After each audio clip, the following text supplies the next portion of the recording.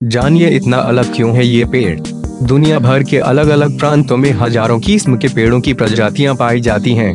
कुछ बड़े, कुछ छोटे, कुछ तो इतने मनमोहक होते हैं, लगता है बस उसे ही देखते रहे और कुछ इतने अजीब पेड़ होते हैं जिनको देख के ही रोंगटे खड़े हो जाते हैं। इतना ही नहीं, कुछ पेड़ तो ऐसे होते हैं जो समझ में नहीं आते कि आखिर कर ये है क्या चीज़। ऐसे पेड़ों को अक्सर रहस्यमय नज़रिए से देखना पड़ता है।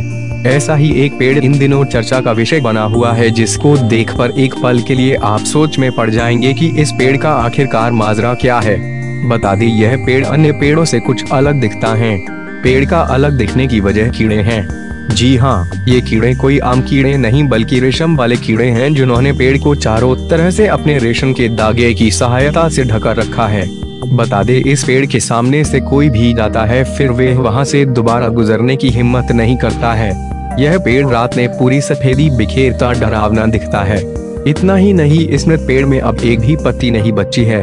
ये पूरा पेड़ रेशम के कीड़ों का साम्राज्य है। रेशम के कीड़ों ने अपनी लार से निकलने वाले रेशम के दागे से इसे पूरी तरह लपेट रखा है।